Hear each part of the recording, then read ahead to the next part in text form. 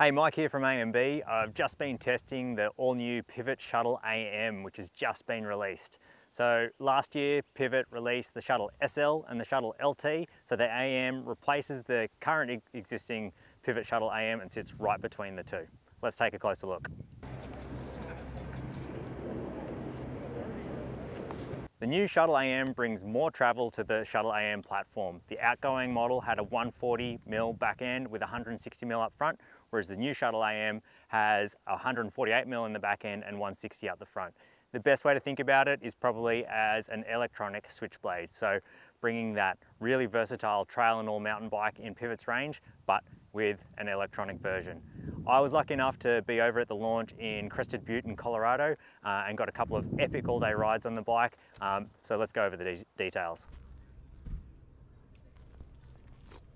Some of the important changes on the Shuttle AM are around the frame, as you'd imagine. So uh, this is one of the, the, outgoing Shuttle AM was one of the last bikes from Pivot to still have their old design, so with uh, without the vertical orientated shock. So Pivot have moved to a near vertical shock orientation, which do a few things to help the ride of the bike. Firstly, it means that they don't have to have the shock like attached to a certain point on the top tube. It means that that part of the frame can be lighter and designed to be both light and stiff and also lets them tune standover height a little bit more as well. So there's been an update in geometry, it's a little bit longer and partly that's also to accommodate the smart system battery in there too. Um, but it is also lighter and overall it's a tiny bit slacker with a slightly steeper seat angle too. So you kind of get uh, the geometry changes that you would expect on an updated trail and all mountain bike. Another change with that is it opens up the whole main triangle a lot more. So you've got room for a bottle cage on the down tube, which also means you can put the new uh, range extender battery from Bosch in there if you need more than the stock 750 watt hour battery. The large I tested when run in the low uh, geometry setting has a 476 millimeter reach with a 64.1 degree head angle and 76.4 degree seat angle. Now if you were to run it in the high setting, uh, obviously lift the bottom bracket height a tiny bit, but it steepens it up by about 0.4 degrees and lengthens the reach out by about 4 mil too.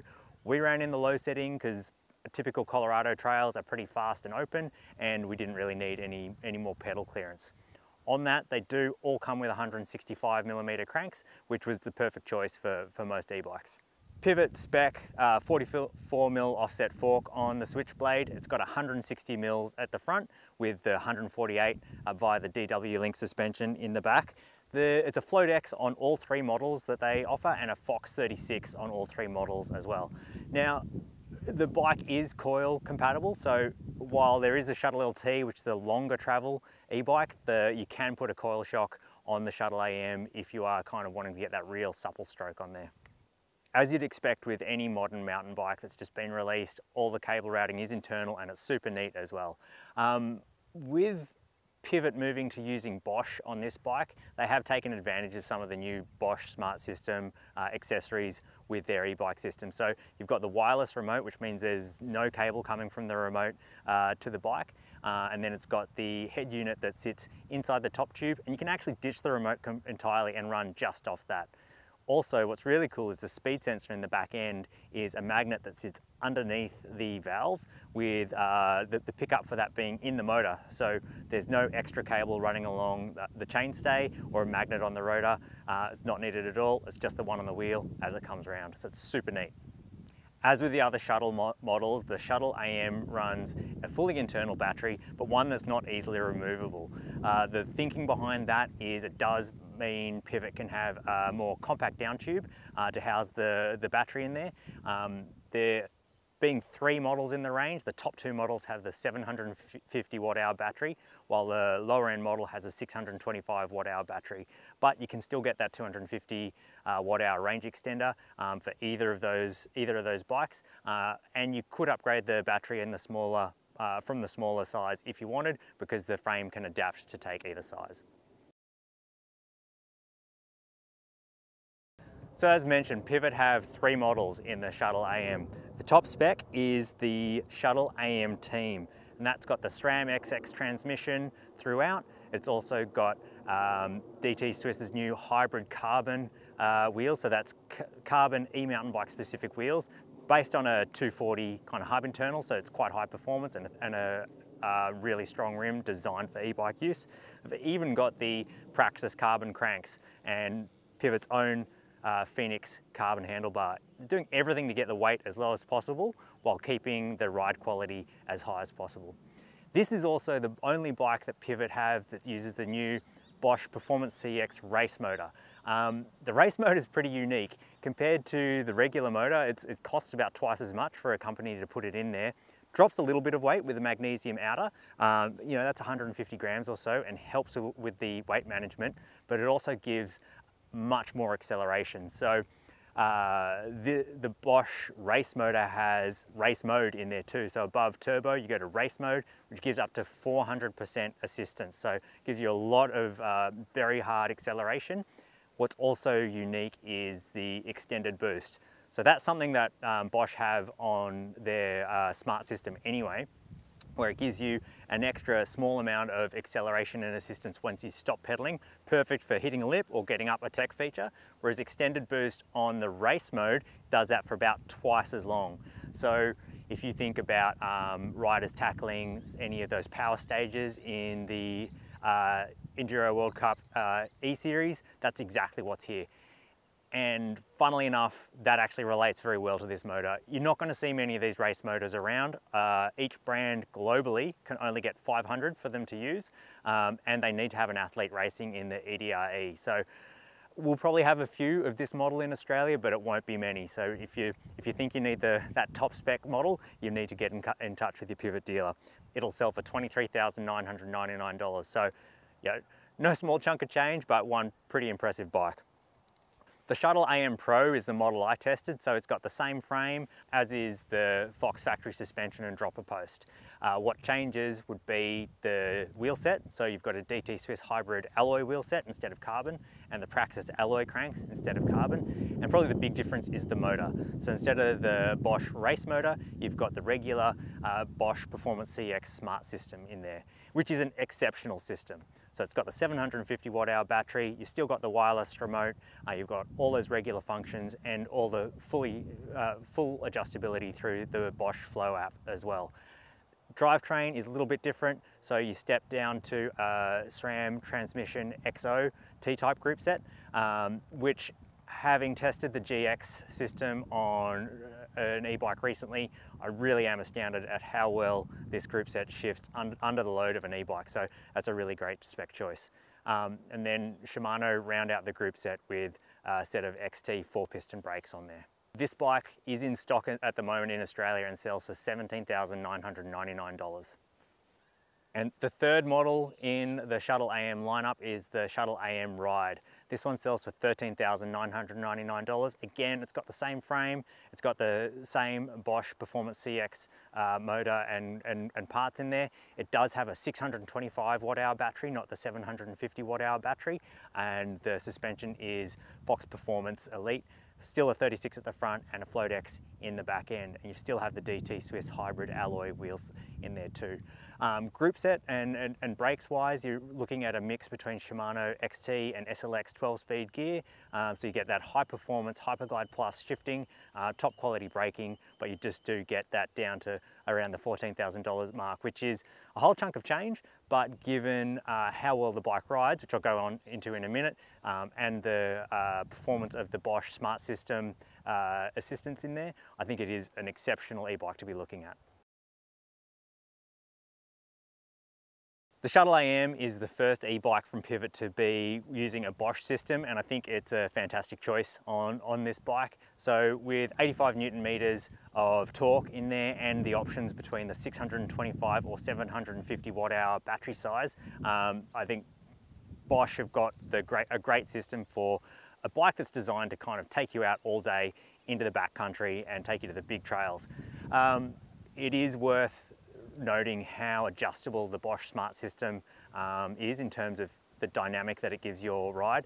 There's a whole lot of adaptability through the Bosch Flow app, so you can change you know, you know, where the, how quickly the assistance comes in in any of the four modes, um, what the maximum torque is, um, and basically how sensitive it, it is. And I think that's probably a key part to getting the most out of the system and the most out of how you want to use the bike. Because if you've got steeper trails, you're probably going to want uh, you know the assistance kicking in faster, um, or you might even want to get a little bit more out of the eco mode, so it's a bit more useful than it could be otherwise. But all that adjustability is there for you.